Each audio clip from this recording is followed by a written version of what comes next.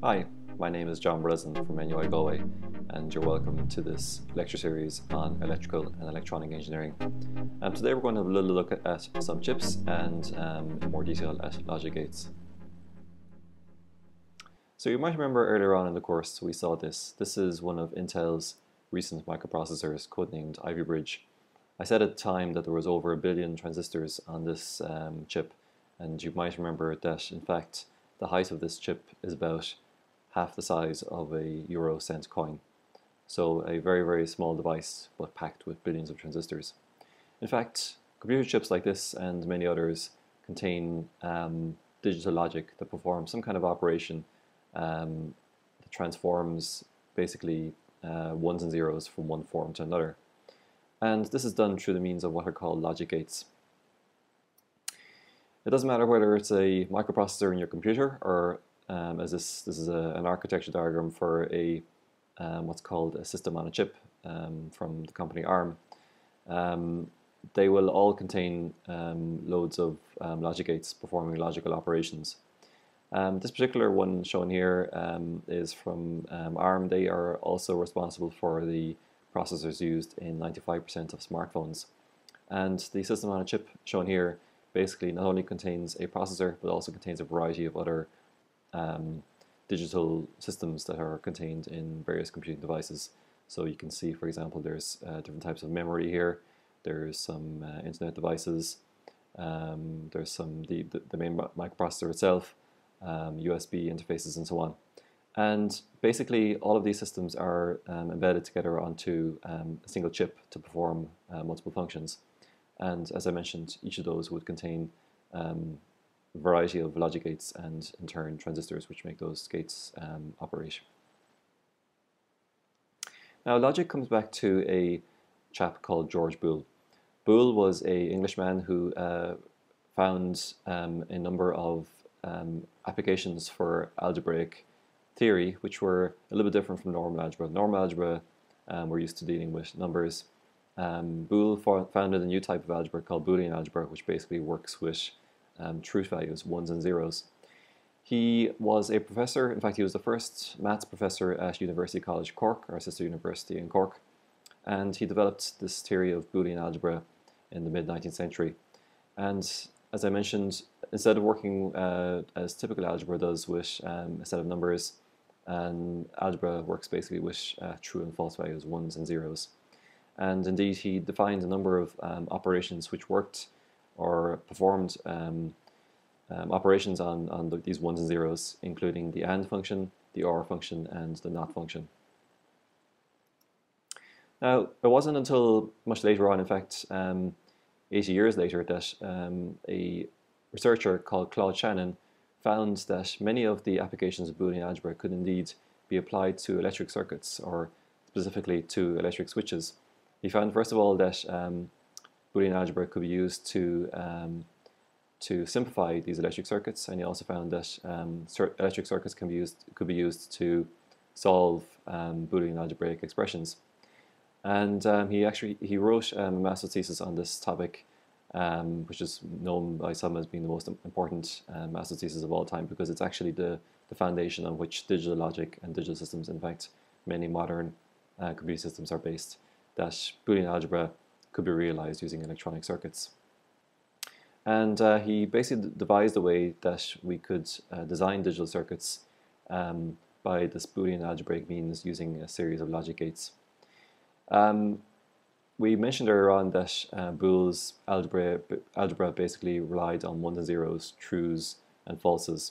And in voltages for electric circuits, we basically, basically represent these trues and falses by high voltages and by low voltages respectively. So a 1 or a true value is represented by a high voltage and a 0 or a false value is represented by a low voltage. Um, Shannon has many other um, discoveries um, from uh, uh, code breaking during the war to uh, information theory and um, but in, in our context I think this discovery that um, electric circuits could be um, solved and simulated using Boolean algebra was was was the most important. So what's a logic gate? Well, a logic gate basically is a physical device that implements some kind of Boolean algebraic function. I mentioned AND and OR are not, but in fact there's a wider range of logic that we'll see later on that basically can be implemented using a physical logic gate.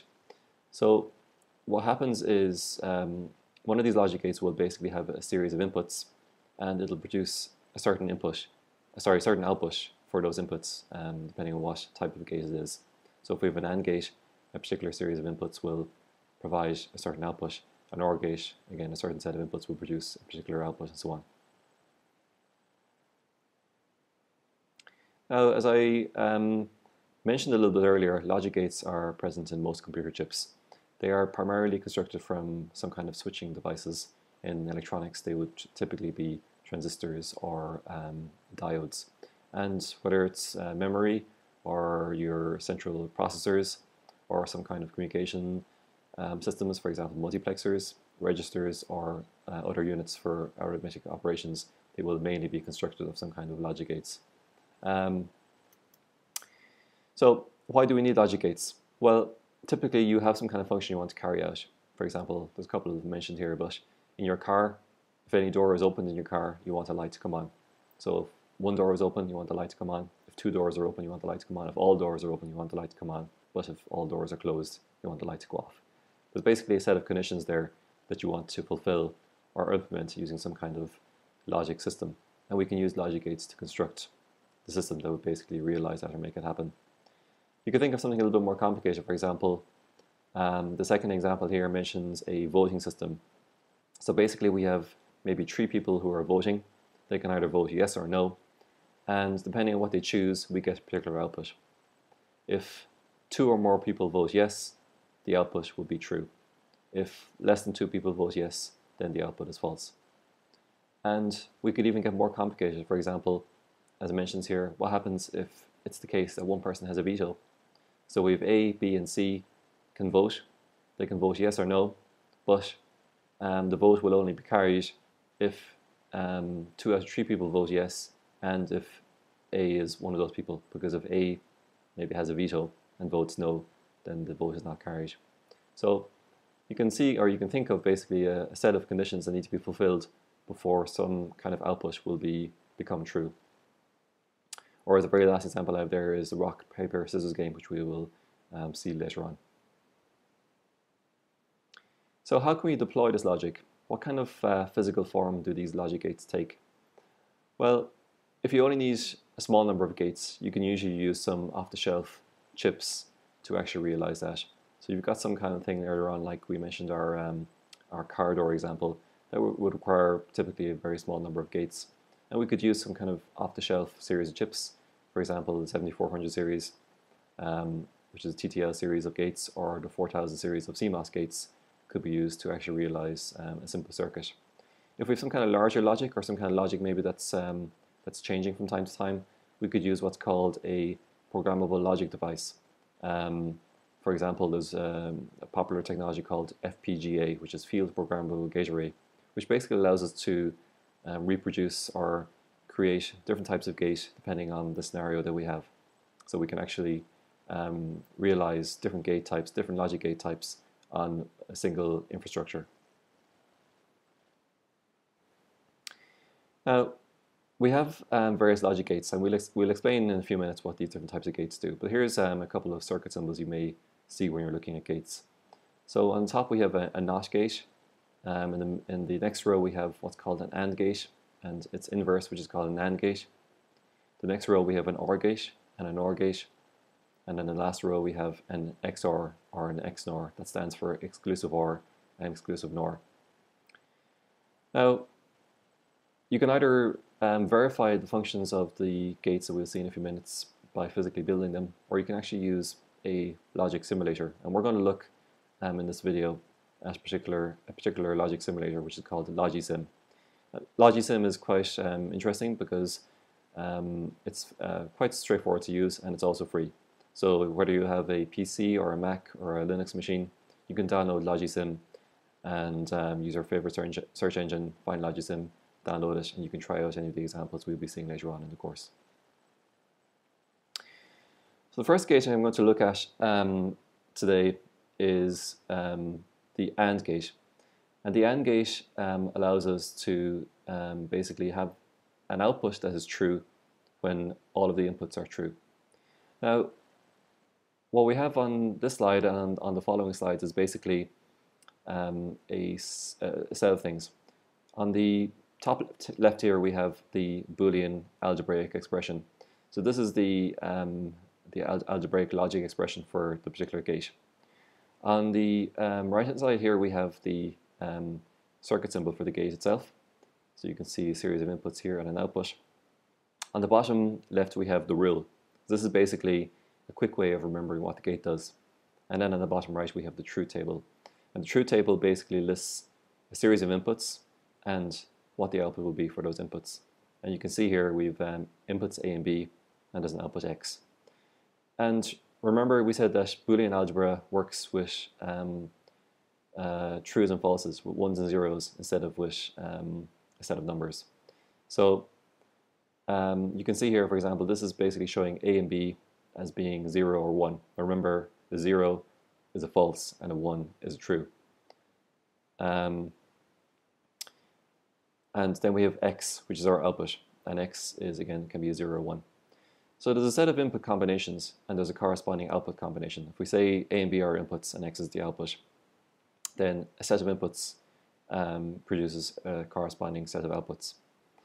And if you look at the rule here, it says when all inputs are true, the output is true. That basically means that the only time when x is going to be true, or 1, is when both of the inputs are true. So x will be 1 when a and b are both 1.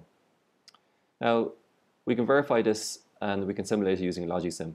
So I'm going to load up Logisim now, and we're going to have a look and see how that works. This is the screen you'll see when you install Logisim. You basically have a blank canvas, and over here you have a number of controls. And for example, you can go into gates here, and you can choose an AND gate. This is the one we're looking at. And we just click on that, and then we can draw it here on the, on the canvas. Now, an AND gate, the one we've just seen has two inputs, but it could have multiple inputs, it could have more than two. But the same basic rule applies. I'm just drawing, dragging a couple of um, uh, input lines and output lines, basically wires connecting into the input of the gate and a wire connecting to the output of the gate. And what I'm going to do is I'm going to simulate the uh, inputs and outputs using um, some pins up here. You can see up here on the top there's a little pin. I'm going to click on that and add it here. And I'm going to click on it again and add a second one here. I think I'll just move this down here just so there's a bit more space.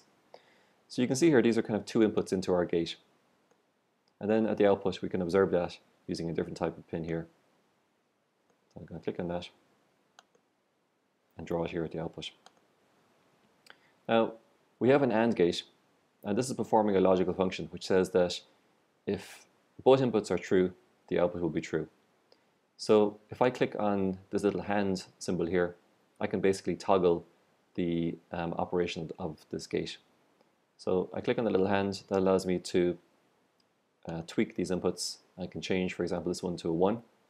So if I change, um, you can label this, for example. So let's just say I call this one A, I call this one B, I call this one X.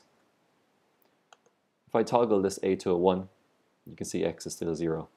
But if I toggle b to a 1, you can see x changes to be a 1 as well. And indeed, you can, you can try all different combinations of that, and you'll basically see that the only time when x is 1 is when both, when both a and b are 1. Now, I mentioned earlier on that you can actually create um, an AND gate with multiple inputs. If I put a third input in here, and I call this um, C, for example, I'm going to add another little pin here and join it up to it you'll see that the same kind of rule holds. The only time when the output x will be true is when both a and b and c are true. So again, you can see a is 1, b is 1, x is 0. If I toggle c to be a 1, you can now see that x is 1. So again, the same rule holds. When all the inputs are true, the output is true.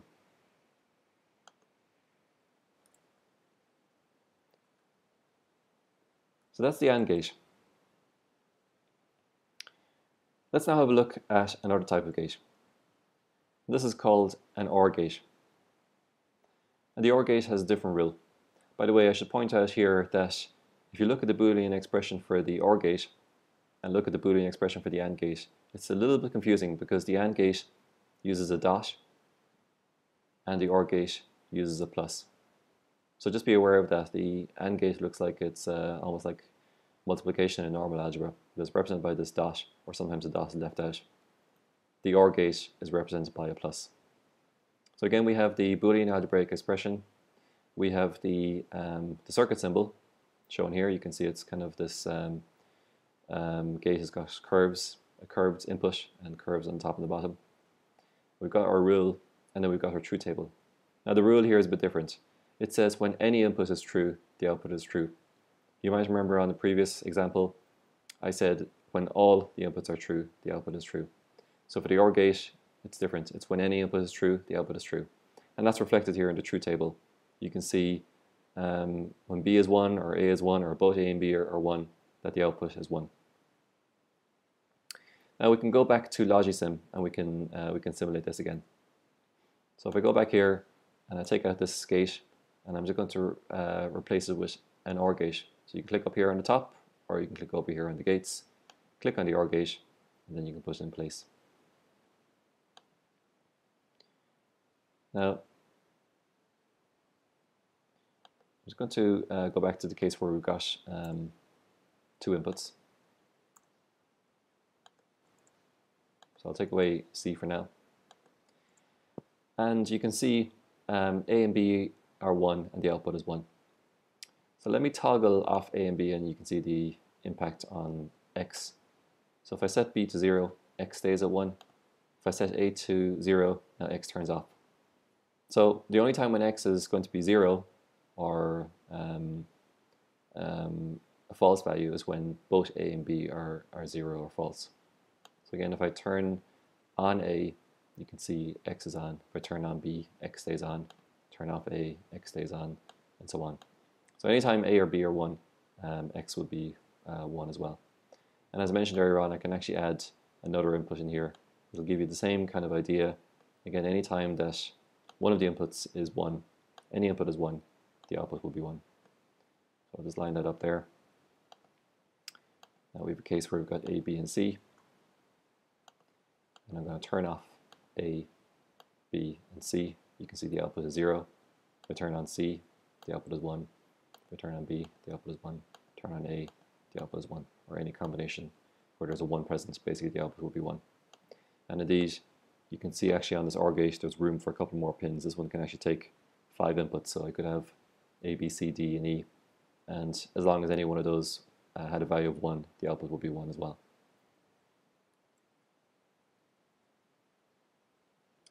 So that's the OR gate. Now the most simple type of gate is, prob is probably this one. It's called a NOT gate or an inverter. And basically the value that comes in is inverted. So it's represented by um, the input with a bar over it. So x, the output, is equal to a bar. And this bar denotes um, negation or inversion. So basically whatever a goes in, the x that comes out is the inverse of that and it says here the output is the inverse of the input.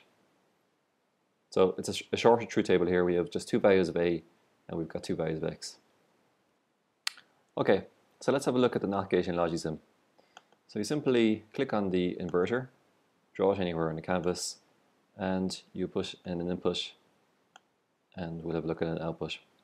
And again, I'm going to use these little um, input pins here and output pins here to monitor the input and the output. Now, I could also do something else here. You can see here different um, logic systems here on the left hand side. I'm going to choose an LED and basically I'm going to turn on an LED um, for a particular input. So you can imagine here's an LED connected to the output and we've got a little switch at the input which is going to either turn on the input on or off.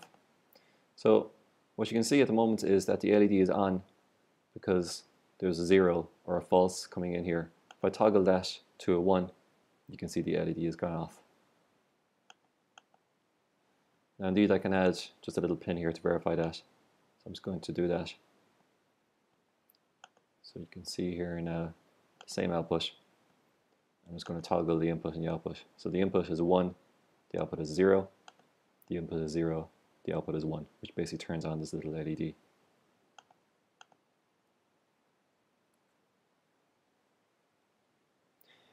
Now, There's also a couple of negative gates, or um, I suppose you could think of them maybe as being a combination of the inverter we've just seen and one of the other gates. If you can think of the AND gate we had earlier on, which says that uh, when all the inputs are true, the output is true, then a NAND gate, which is the one shown here, is basically the inverse of that. And the little bubble shown here in the output is almost like having an AND gate with an inverter um, added to the end of it. So the symbol, again, a bit like the inverter, we have our AND expression, but it's got a negation bar uh, or an inversion bar shown here in the Boolean algebraic expression. So again, you could think of it maybe as being like an AND gate in series with an inverter. In fact, I'll try that in Logisim so you can see the, the, the application of that. But basically, um, the rule again is when all the inputs are true, the output is false. So it's the opposite of the AND gate. The AND gate was when all the inputs are true, the output is true. And indeed, you can see that here in the um, true table. When the all, all the inputs are true, the output is false. So let's have a look at this in Logisim. So I'm going to do two things here. I'm going to get a, an AND gate and follow it up with an inverter. I'm just going to join those two together and have a look at the output.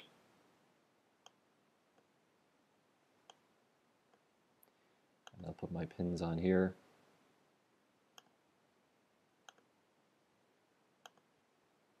We'll have a look at the output over here. And uh, also here on the gates listing, you can also choose an, a NAND gate directly. So just do the same thing here so we can verify that they're the same thing. Or so you can see that they're the same thing.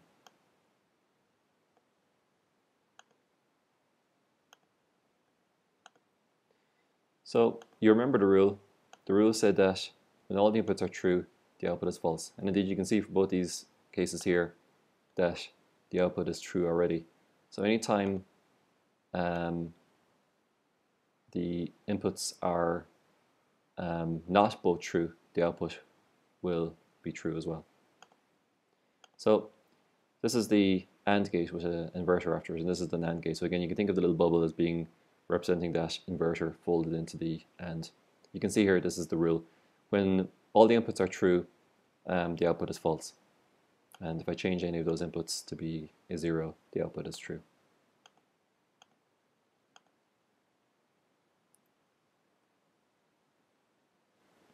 The NOR gate then, similar to the NAND gate, it's the opposite of the, or the inversion of the um, OR gate. So we have A or B, and we have this inversion symbol over it. This is the symbol, it's the OR gate symbol, but again with uh, an inversion bubble at the end. And you can see the rule here. When any input is true, the output is false. So we've got, if you look at the output here, we've got 1, 0, 0, 0. If you went back to the OR gate, we had earlier on, it was 0, 1, 1, 1. So it's actually just the opposite of that. It's 1, 0, 0, 0. Again, we can verify that in uh, Logisim.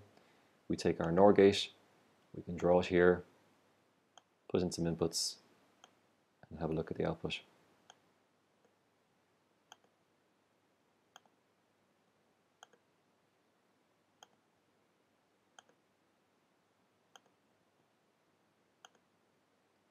So as you can see is that when any input is 1, the output is 0. When both inputs are 1, the output is still 0.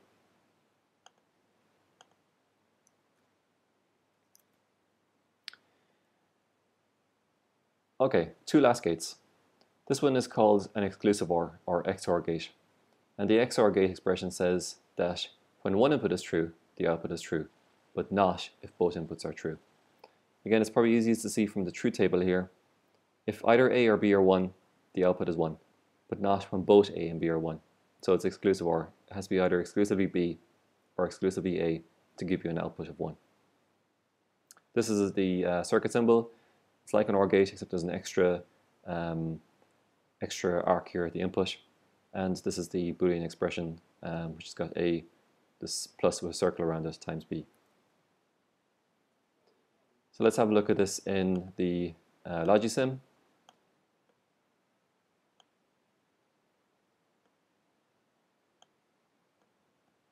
I'm going to put in two inputs here.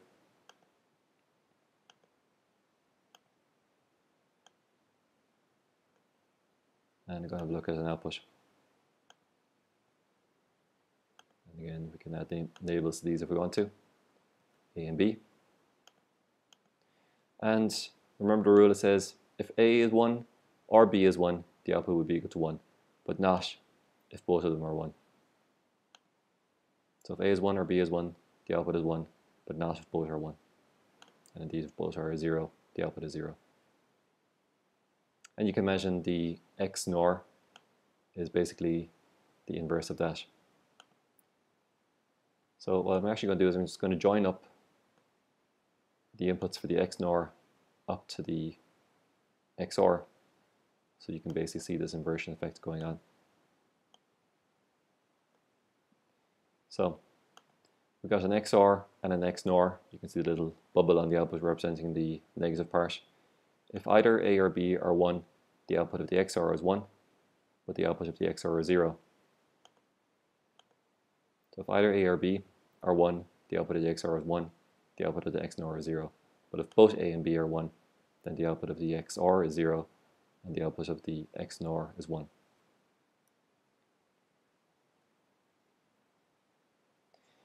So this is the XNOR expression. We've just seen its operation. We have A plus with a circle around a B and this negation operator on top. Something else important to note here is the ordering of the inputs. You can see here that in all of these tables we've had A, B going from 0, 0, 0, 1, 1, 0, and 1, 1. This is the standard way to draw the um, inputs in a truth table. Indeed, it corresponds to a sequence of binary numbers, which we will see later on. But for now, just assume if you're writing a truth table, it should be in the sequence, starting off with 0, 0, then 0, 1, then 1, 0, and then 1, 1.